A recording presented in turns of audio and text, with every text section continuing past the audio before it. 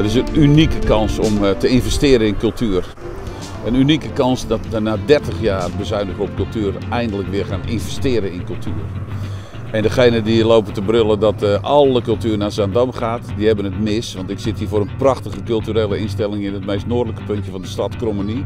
En dat blijft echt wel. Sterker nog, ik heb uh, signalen ontvangen uit, uit, het stadhuis een beetje.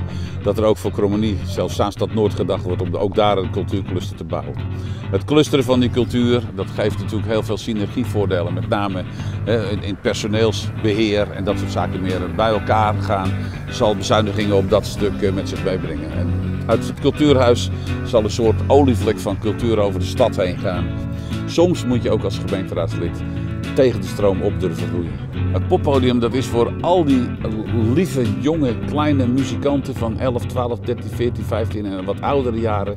Die hier in Zaanstad in allerlei hoeken en gaten uh, uh, ruimte moeten zoeken om op te treden. Die krijgen daar straks een mooi professioneel poppodium met goed licht, goed geluid, geluiddichte ruimtes ja, waar het echt genieten wordt. En dan kunnen de mensen uh, weer uh, dingen doen zoals ze vroeger deden met de Dizzyman's Band en met uh, George Baker en met Mountain McNeil en al die artiesten die hier ooit vandaan gaan. Op de dijk, ongetwijfeld zullen die daar een openingsvoorstelling gaan geven, denk ik, hoop ik, hoop ik vurig.